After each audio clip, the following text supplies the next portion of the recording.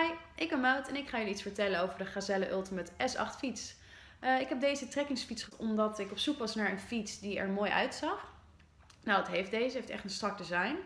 Daarbij maakt hij niet gebruik van een ketting, maar heeft juist een belt drive. En dat is eigenlijk, betekent eigenlijk dat het, uh, als je fietst, dat het erg stil is. Hij is onderhoudsvrij en daarbij ook nog eens een keer heel erg licht. Dus mocht je hem een keer moeten optillen of van een afstapje af, is dat absoluut geen probleem doordat hij ook zo licht is, merk ik dat hij heel erg wendbaar en vlot is.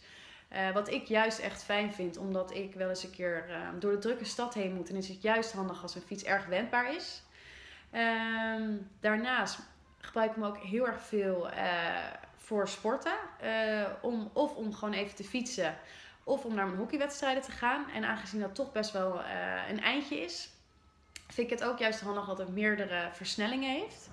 Normaal ben ik niet zo van de versnellingen. Uh, maar doordat deze zo gebruiksvriendelijk zijn, gebruik ik ze juist heel erg veel. Vooral de lange afstanden. Um, en daarbij um, vind ik de kwaliteit van deze fiets ook erg goed. Um, ik heb hem nou al een tijdje. Hij blijft, uh, hij blijft mooi. Hij doet het goed. En ja, ik heb er eigenlijk alleen maar positieve ervaringen mee.